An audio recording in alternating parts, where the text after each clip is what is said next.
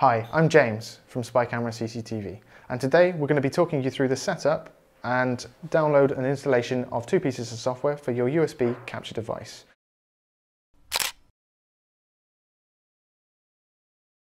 Inside the box that comes with your USB device, you will find a link that will take you to our help site guide on our website.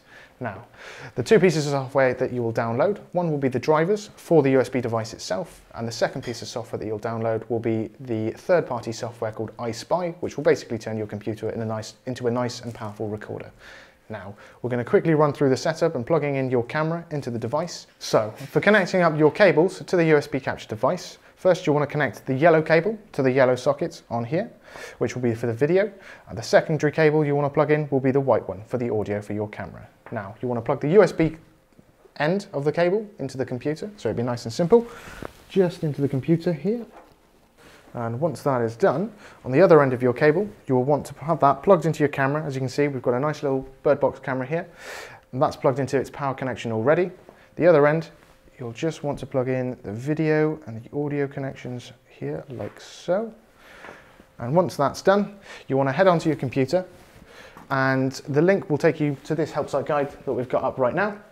Um, first things first, if you want to scroll down slightly, the first link here will be for the download link for the drivers for the USB device. So once you click that, um, you will then get the download for those. So once you click that, it should start downloading. Depending on how fast your internet speed is, it shouldn't take more than a couple of seconds though. Once that's downloaded, you want to click that. You want to open this up really quick. Double click again on the setup and that should start installing the drivers for you for your device. Once again, this shouldn't take much more than a couple of minutes to do, depending on how fast your computer is. All you need to do is click next.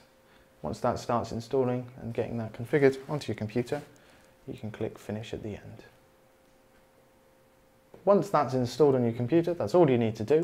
The second link here, which you can see under, under the uh, subheading of downloading and installing iSpy, you click that, that should take you now to the iSpy website. All you need to do is click download here. It'll ask you which kind of version you want to download. Uh, most, most computers will use the 64-bit version unless you know you have the 32-bit. 64-bit is probably the one you want to go for.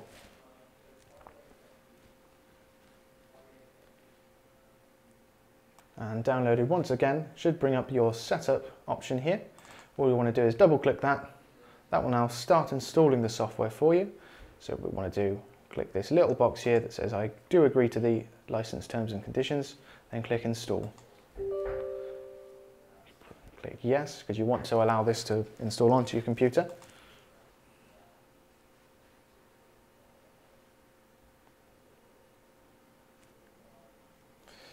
Now, once that's installed, you should have the iSpy desktop app on your, on your computer. All you want to do is click that, load that one up. So once that's loaded up, it will give you the, uh, the getting started installation. So you just want to obviously make sure that the, your language that you're using is the language that's relevant to you. In this case, it will be English. Right, so once we're on here, all we want to do is in the top left hand corner you'll see the button that says add. We want to click add and we want to go onto local camera. And on the window that will pop up you will want to make sure that the video device that you've got plugged into your computer is either the USB 2.0 VidBox FW. Sometimes the numbers will be slightly different depending on the software variants that are available to them and underneath we want to make sure that the video input here says video composite and that'll make sure that you are getting a picture from the camera that you've got plugged in. The third part here that you want to do is make sure that the video resolution is set to 640 by 480 which is here, this one here. And then you want to click OK. And then the second window that pops up here will give you your maximum frame rates. And what you want to do is just change this to 25. And 25. And then once that's done, you can click finish. And there you have it. There you've got the image of your camera that you've got currently plugged in to your USB video capture device. If you've got sound on your camera, then there's one extra thing that you'll need to do, which is you want to go into the edit settings right here, um, and then where it says microphone, you'll want to click those three little dots. You want to click on new, these two little arrows here, which will then take you to the next page. And then on here, you want to make sure that you've got your USB audio device here, um, just to make sure that that is all enabled for you. And then you can click finish once more. And there you have it. That's how you set up your camera to record onto your computer. Now, what we'll quickly do now is just run into the settings for actually setting it, the, the few different ways of setting up your camera to record on the computer. So the first of all is nice and simple. There's a little, there's a little uh, white dot here that says record now when you move your mouse over it. All you need to do, if you click that little, that little dot there, in the bottom right hand corner you should see where it says, where there's a little, little red dot, again that's your recording light. It also says that in the top right corner as well of the camera screen. Now, if we want to stop recording, simply hit that again and that will stop recording for you. And then in the bottom left hand corner, that will show you what your current videos that have just been recorded in there. All you need to do is click them and that will start playing it back for you. Now, if you want to set it up for motion detection, it's nice and simple. All you do here is make sure that you've got your trigger range on here. So the higher the number here, the more sensitive your camera is and the software will then start recording whenever, whenever motion detection has been set up. So as long as, you, as long as you select that, that should be fine.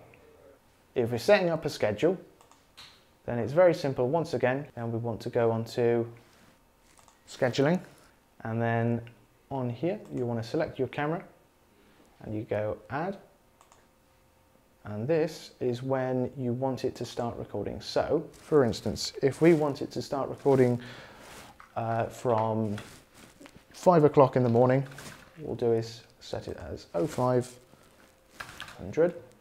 And if you want that to record every day, then you can select the days that you want it to record here.